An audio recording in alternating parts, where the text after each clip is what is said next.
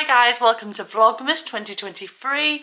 I've just finished work, so I've actually got my Christmas pyjamas on from Primark. Me, Mum and Evie all got these same ones and they've got this lovely festive um, green Christmas trees and deers. I just put some pans on, so I, if I if I continuously look this way, it's because I'm checking that things aren't boiling over and burning and stuff like that. So just a small haul today. I think I mentioned it yesterday that we've been to Home Bargains and we bought some outdoor decor. Um, it's not really something I've ever done before. I've never decorated outdoors for Christmas before. But um, we got such a taste for it at Halloween that we've decided to go ahead and do it. So me and Fred purchased these items between us. He's at work at the moment. Um, but I'm hoping on Tuesday um, I've got half a day at at work, so I, I finish at like half one, two, and then Fred's on the night shift. He'll probably be up by the time I get back because it's his last night. So I'm hoping that we might be able to, if it's not snow or really bad weather, we might be able to start the decor. So the first thing I'm showing you here are these LED free candy stake lights. So these look really cute, don't they? Um, I think I'm hoping... Oh, these are battery operated. Oh. I didn't realise that. So I'm going to have to get some batteries for these to test them out. Um, I was hoping everything, because we've got outdoor plugs in this house.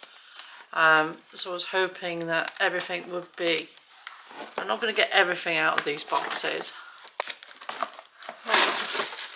I'll just get them out. I did want to get the candy cane stakes as well but I don't know if I've got enough money now.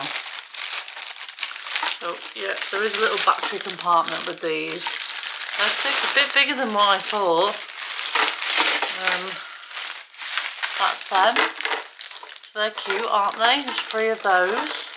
The reason why I got these is because I wanted a sort of Grinch um, theme outdoors. I think those lollipops are about a tenner. And then this thing was twenty nine ninety nine. so this is a big inflatable Grinch. And I don't think it's bad for the price because I've seen others much more expensive. Um, it's 8 point, oh no, one, sorry, 1.8 metres tall. You can get a big, you, you can get a big huge one on the Home Bargains website. It says for indoor and outdoor use. I'm not sure if you'd have it indoor, but I suppose if you had a big hall and you're having a party or something, you could.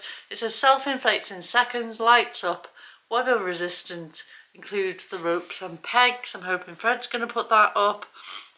So I've had one of these before for Halloween and you just plug them in and they light up and they, they blow up. So that's the Grinch for our display. Obviously I can't get him out till Tuesday but I'll show him to you on Tuesday. And then we got this light up reindeer which I think was £19 I think or around that price. Um, I haven't got the receipt but they weren't too bad. So that's a light up reindeer. Uh, just a basic one really. I think it was £15 I want to say. Ooh, it's quite heavy. Because it has eight functions on it and it's 48 centimetres high. Um, oh, this is battery as well. Everything's going to end up battery. Then, oh, the last thing I got was this big, huge bauble, which is absolutely massive. That's collapsible. And this is mains operated, thank goodness. So this, the Grinch, and this is mains operated. Battery for the other two things. So it's a big red one. I'm going to put this on the porch. But you can come and decorate it and help me on Tuesday if you like. Um, so stay tuned for Tuesday. Wednesday or Tuesday when we're going to put out the outdoor stuff and we'll see what it all looks like. I've also got some twinkly lights and things like that. Take care. It's Minnie. Take care. Thanks for watching. See you tomorrow. Bye.